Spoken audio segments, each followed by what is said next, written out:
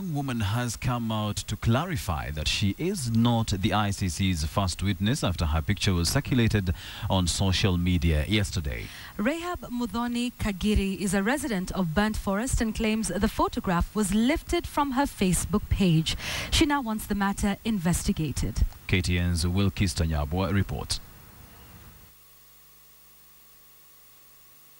This picture first appeared on social media on Tuesday afternoon, the very same day the first prosecution witness in the case against Deputy President William Ruto and former radio presenter Joshua Arap Sang gave her testimony at the International Criminal Court. While the identity of the first witness was concealed at the court, back at home, Kenyan circulated this picture claiming that this was she. A rumor that eventually came to the attention of 27 year old Rahab Muthoni Kagiri, the woman in this photo. She turned up at the police station in Eldoret to record a statement over what she says is a case of mistaken identity. Rahab, a businesswoman based in Burnt Forest, says she asked a friend to take the now infamous photo. I wanted to send that picture to my profile in my Facebook account because there is no profile picture. Once uploaded, the photograph set off a chain of events. After about two hours, a friend of mine just called me and told me, Rahab, are you serious? I, saw your picture in Facebook ati wanasema ati you are one of the witnesses. The boy just asked me, where are you? Nikamwambia kwenye nafanya kazi, akakuja mpaka hapo akanionyesha the picture. I was shocked.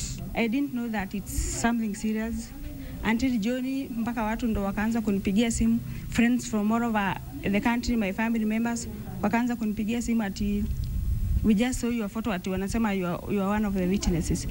Nikamwambia no, And before she knew it, Rahab was making news. nikaenda usingizi. I just slept well because mimi sijishuku. I'm just innocent. This now prompting Rahab to head to the police station in Eldoret, where she recorded a statement stating that though this was indeed her picture making the rounds on the internet, the name beneath it was not hers. Neither was she an ICC witness. To be frank, I don't know anything about the ICC cases, but I'm one of the vict- I'm a victim. I was affected. I'm one of the IDPs. We have received that report of Rahab Muthoni Kagiri, and um, uh, I have just uh, sent her to the relevant office, where that matter can also be referred to the uh, cyber crime for the purposes of clarity. This coming as the ICC retreated to deliberate on just how to ensure the protection of prosecution witnesses, a day after it emerged that the name of the first witness may have been leaked on social media. Rahab later took down all the photos on her Facebook page. This perhaps a cautionary tale as to just where images posted on social media can end up. Wilkister Nyabwa, KTN.